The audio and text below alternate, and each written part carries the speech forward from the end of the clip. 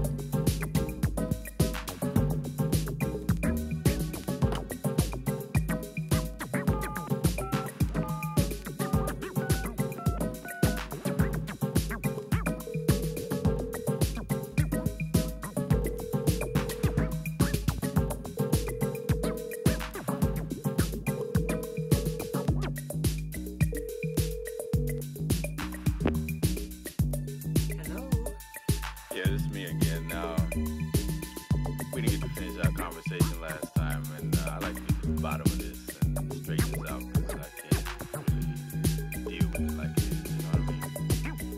No, I know what you mean. You tell me what you mean. Well, I'm not the kind of guy that likes lady